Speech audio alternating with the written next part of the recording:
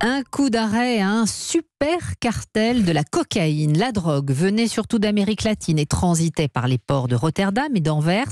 Ce cartel, qui contrôlait une bonne partie du trafic de cocaïne en Europe, vient donc d'être démantelé par la police 30 tonnes de poudre blanche saisies, David Montagnier. Oui, et grâce à une coopération internationale, son nom de code Desert Light, Lumière du désert, elle a permis l'arrestation de 49 suspects entre le 8 et le 19 novembre dernier pour une saisie record, vous l'avez dit, de 30 tonnes de cocaïne, un trafic qui représente un tiers de la consommation en Europe. Des arrestations en Espagne, en Belgique, aux Pays-Bas, mais aussi en France, où six personnes ont été interpellées par les policiers français L'agence européenne Europol a également permis de localiser deux autres euh, barons de la drogue à Dubaï, deux ressortissants à la double nationalité belge et marocaine. Ils sont soupçonnés d'être à la tête d'un vaste réseau de trafic de cocaïne pour le marché français. Ils ont été arrêtés et devraient être euh, remis à la France. Un trafic très lucratif au vu des saisies effectuées, des voitures de luxe, des villas, des armes et des dizaines de milliers d'euros en numéraire. Mais l'enquête a aussi révélé des méthodes d'extrême violence avec des actes de torture